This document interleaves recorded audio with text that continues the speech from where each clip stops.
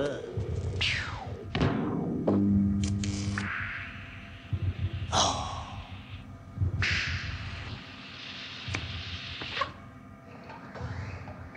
好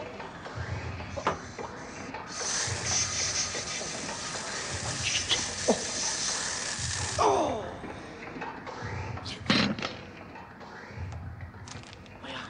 哦哦家里人还有你啊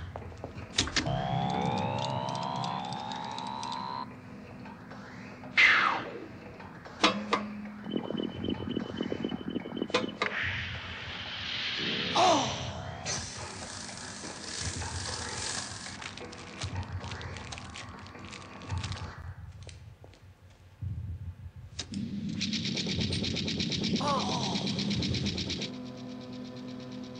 Ils ont mis en marche l'unité de fabrication numéro 3.